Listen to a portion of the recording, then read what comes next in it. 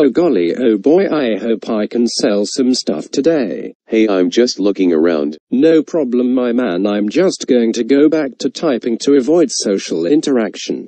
Hmm, I like this. Thank you, sir. Hey insert Singaporean male name here. Hello, unnamed male number 2. Should I buy this keychain?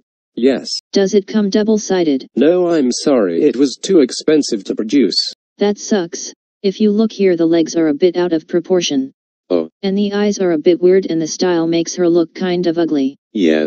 Like what are these lines? Please, I didn't come here for an art critique. So yet I don't think you should buy any of these. Thank you for the help. I will not buy them. Okay.